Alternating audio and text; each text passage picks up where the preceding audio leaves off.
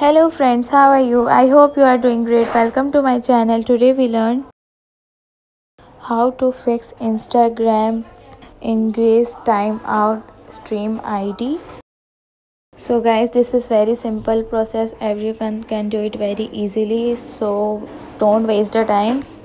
And let's get start the video first we tap on settings and scroll down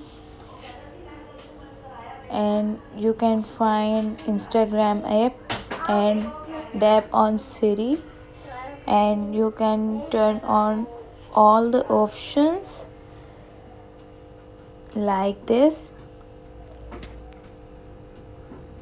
And go to your instagram and check out. So guys i hope you like the video and this video is helpful for you please please subscribe my channel like the video and leave the comment in below. And don't forget to press bell icon for my new videos update. So thank you so much for watching. Take care. Bye bye